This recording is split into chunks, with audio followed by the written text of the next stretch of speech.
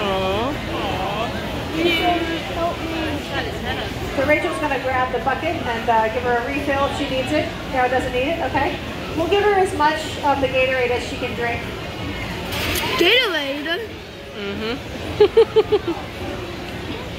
So I drink Gatorade. Yeah, and they give it to the cow also so to help it get its strength back. So I drink that.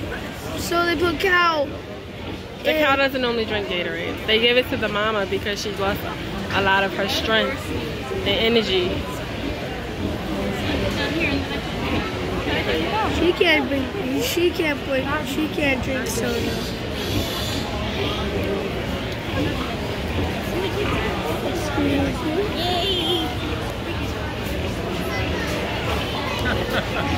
I'm so tired. She ain't sit down yet. she had the cow standing up. Why is she licking? Cleaning, keeping them warm.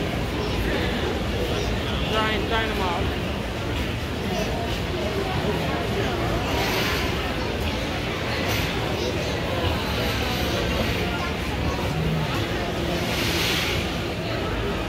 You're one day old.